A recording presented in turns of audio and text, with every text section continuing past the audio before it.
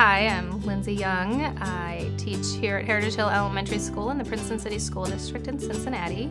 In fourth grade math, we really spend a lot of time working on the students' reasoning and thinking. Within that, they're really focusing on problem solving and using multiple strategies to find one solution. So now what we're wanting our students to do is building a foundation where they understand the reasoning behind the mathematics. They understand now why do we carry that one. I think what you're going to love about math is that you're going to see your students change their thinking process about mathematics. They're going to like mathematics. It's not something that they dread going to, but they get to be problem solvers now because we're asking to see their thinking.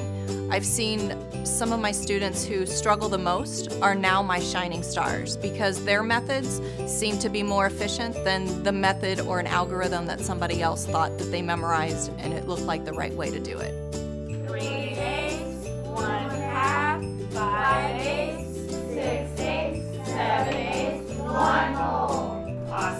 Of the critical areas of focus in fourth grade is developing an understanding of fraction equivalence. If you don't understand fraction equivalence, you're not going to be able to add and subtract fractions. It's really important that they master the basics here in fourth grade. Okay, you may get started on these problems on your own.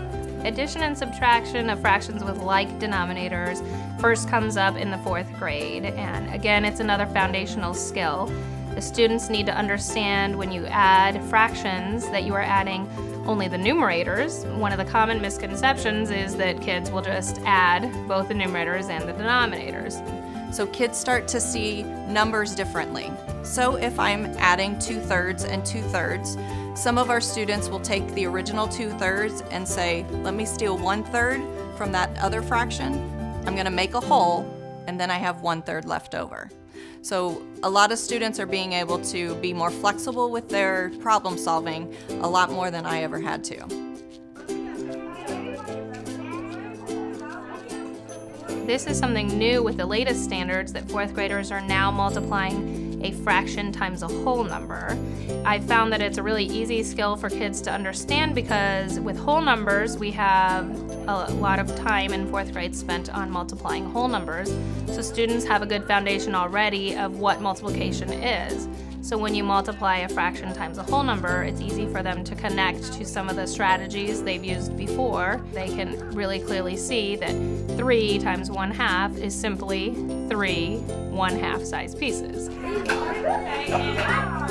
It is important for your students to draw pictures to represent fractions when they're doing any kind of fraction work because the pictures really show what the situations are. So we really spend a lot of time working on different kinds of fraction models and hopefully students are picking the fraction model that is most appropriate for the situation without the models, the students, maybe they've memorized the procedure at this point and they know, okay, we add the numerator and we don't add the denominator, but a student could do that effectively but still not understand what they're doing.